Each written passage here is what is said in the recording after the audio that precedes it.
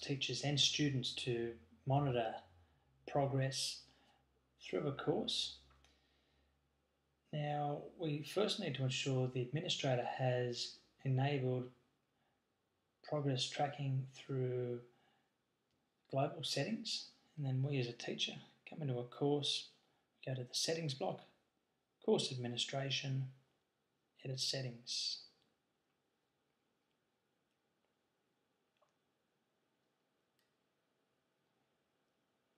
Under the student progress section, we need to ensure that completion tracking is enabled and completion tracking begins on enrolment.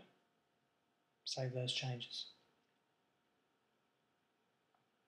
From there, we should see completion tracking in the settings block menu. And again, we can come in here and adjust settings as need be.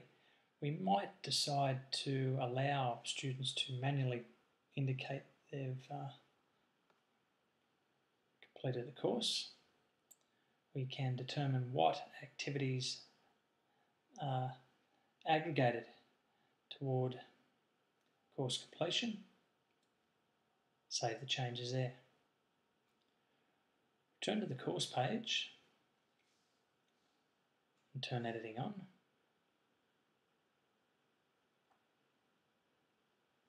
There's two blocks you will need to add to your course page. Course completion status.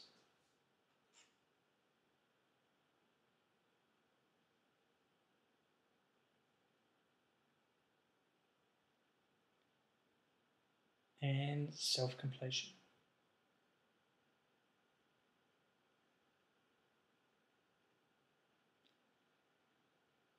So let's log out momentarily as teacher.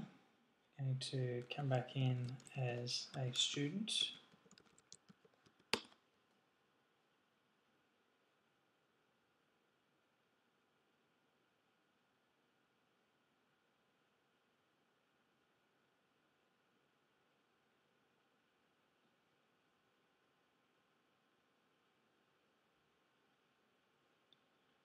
We confirm self-completion.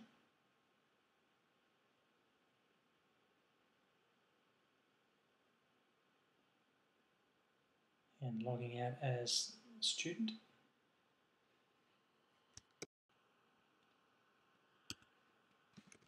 Logging in as teacher.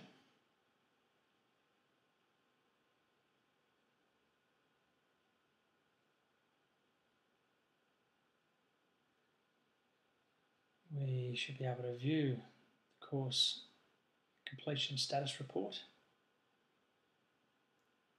We get a snapshot there of the students and where they're at at this point in time.